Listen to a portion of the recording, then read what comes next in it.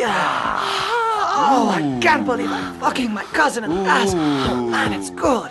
Oh, yeah.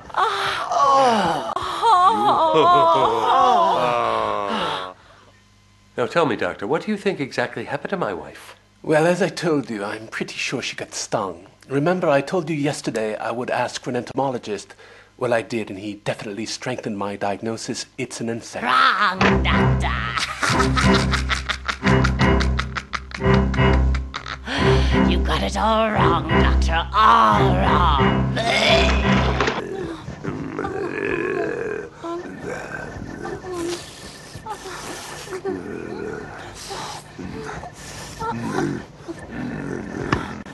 Baby, you turn me on. Oh.